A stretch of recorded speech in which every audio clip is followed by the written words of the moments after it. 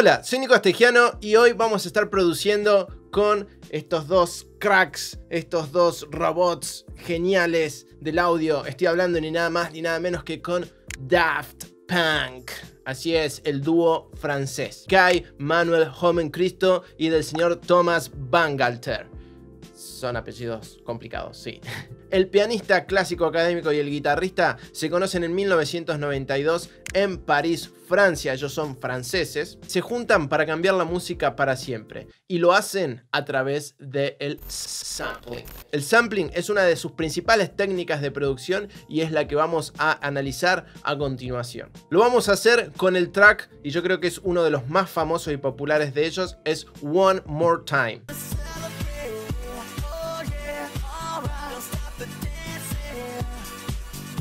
Es un track que nace en 1998 pero va a salir en el disco Discovery del 2001. Es una obra de arte visual, musical, eh, de texturas, de todo. Es impresionante. Yo lo he escuchado tantas, tantas, pero tantas veces que ya dejaba de escucharlo, no sé, capaz que por años y lo volví a agarrar luego porque soy un fanático tremendo de ellos. Además, este disco es el famoso disco en donde contiene una especie de película que es conocida como Interstellar 5555. Así es. Que se va a convertir en la banda visual, en vez de la banda sonora, la banda visual del disco Discovery. Fue creado por Leiji Matsumoto.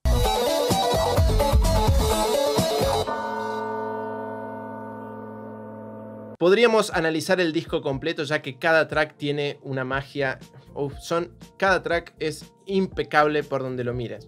Para que ustedes sepan, por ejemplo, hay tracks en donde participó Ingrid Meinstein haciendo un solo de guitarra súper genial. Y además apariciones especiales como Rom Anthony, Top Edwards y DJ Sneak. O sea, el álbum está completo de estrellas. Bueno, hasta acá, basta de contexto. Vamos a ver cómo los genios de Daft Punk producen sus tracks con la gran técnica sampling. Para quienes no sepan qué es esta técnica, es muy fácil. Es agarrar samples, es decir, pedazos de audio, y con ello hacer música. Pero yo creo que la mejor forma de mostrárselos es viendo cómo hicieron One More Time.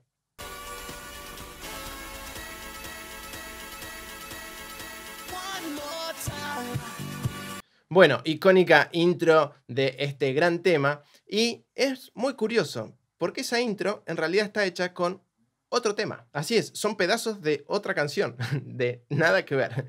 La canción es de Eddie Johnson, es del año 1979 y se llama More Spell on You.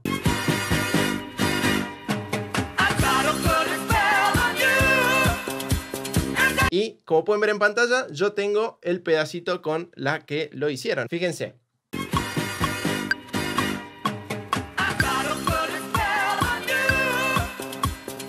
Así es, con esta canción hicieron los samplers de One More Time. Bien, ¿cómo lo hicieron en aquella época? Que esto es muy interesante.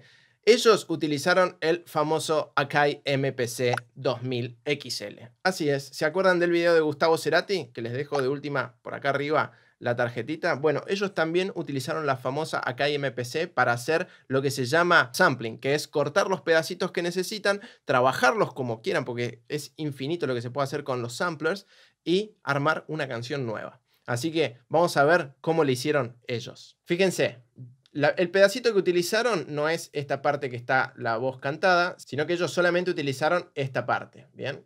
Que es...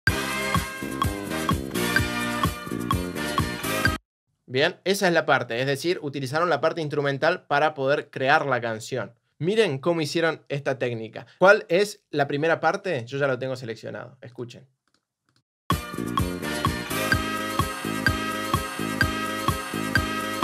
¿No le suena la intro? Bien, bueno, vamos a seguir armándola. Ellos agarraron este pedacito, vamos a seleccionarlo, lo vamos a sacar de acá, lo vamos a poner acá al final, lo vamos a repetir tres veces. Y la segunda parte es el acorde anterior, fíjense.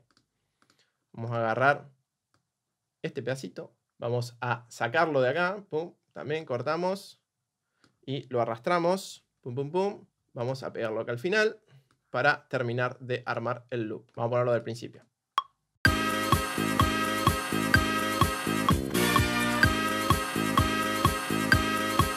Así es, falta la parte final, que obviamente es el último acorde, que es el que da la vuelta final para volver a empezar. Fíjense, vamos a agarrarlo acá. Así es, ahí está. Vamos a dividirlo, vamos a sacarlo de acá y lo vamos a poner al final. Fíjense. Bien, ahí tengo armado, escúchenlo.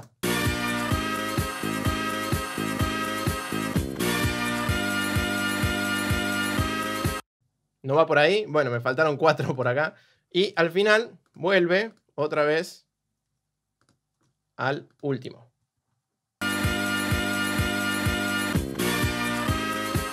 ¿Se dan cuenta? Esto es sampling, es utilizar creativamente los samples para luego crear canciones. Ellos fueron uno de los primeros en hacerlo y en generar música que fue básicamente masiva a través de samples. Este es el esqueleto de la canción, pero luego también vamos a escuchar en el track bajos, beats, eh, algunos pads, algunos teclados que le van dando forma. Pero vamos a escuchar algo que es súper, súper característico de ellos y creo que ellos lo pusieron de moda junto con Cher, que es la voz con autotune. Así es, este track cuenta con el featuring de Romanthony, que es la voz que nosotros escuchamos que está cantando.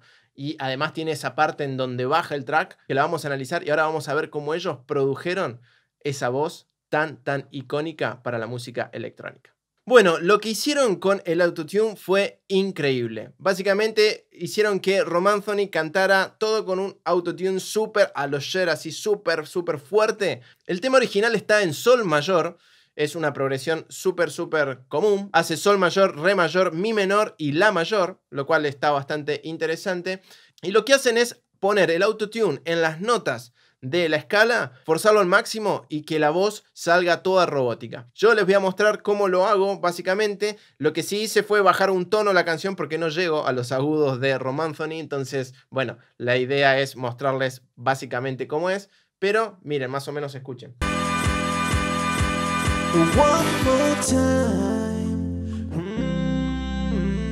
Bueno, eso es básicamente cantar con el autotune al palo.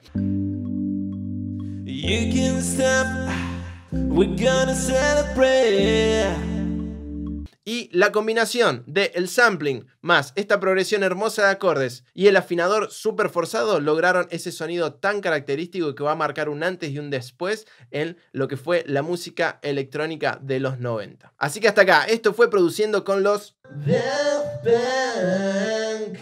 Así es, produciendo con Daft Punk. Y la razón por la cual son considerados los padres del French House, del sampling, de, hicieron popular el vocoder y nada, marcaron un antes y un después para todos aquellos que los escucharon por primera vez. Otra razón súper importante de producción que no tiene que ver con la música, sino que es producción estética, ellos andan vestidos de robots por todos lados. Quienes no lo conozcan, creo que no van a ser muchos. Los que no lo conozcan, casi todos conocen a estos dos robots. Son increíbles, la idea es fantástica, ya que son bastante misteriosos, no hablan mucho, hay pocas entrevistas de ellos eh, sin eh, los trajes, se presentan a los premios con los trajes y todo, la verdad que es, bueno, súper novedoso, ellos son novedosos, la verdad que son grandiosos. Y bueno, hoy vimos solamente el sampling y el autotune forzado, que son dos de las técnicas más importantes que utilizaron en esta canción y en gran parte del disco Discovery. Obviamente más adelante vamos a hacer más sobre esto porque bueno, es muy poco lo que abarcamos, hay mucho que deconstruir de ellos. Pero bueno, hasta acá. Eh, es, si no, va a ser eterno. Ya vamos a hacer más canciones del disco Discovery y vamos a ahondar en cómo ellos utilizaban todas las texturas, qué sintes utilizan, cómo se desarrollan musicalmente y bueno, millones de cosas que los Daft Punk nos han enseñado a lo largo del tiempo. Así que bueno, espero que les haya gustado y nos vemos la próxima.